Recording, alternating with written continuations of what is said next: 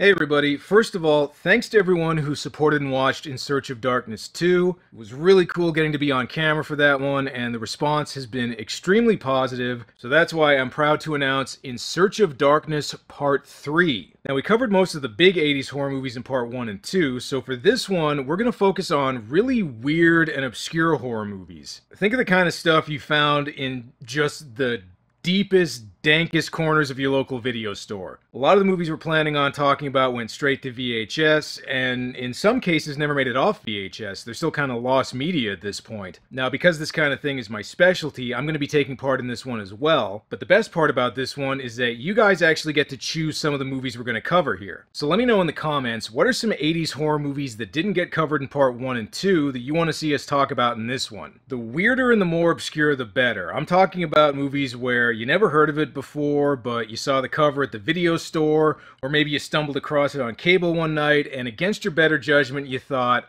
I gotta check this out. Now, the fundraising for this one doesn't begin until October, but in the meantime, here's a little preview to give you an idea of what to expect. Enjoy.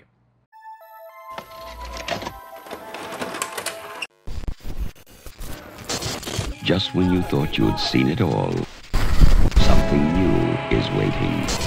You've read about it. You've heard about it. Prepare to be pulverized, traumatized, and hospitalized by... Part 3. It's exactly what you think it is. Does that sound entertaining?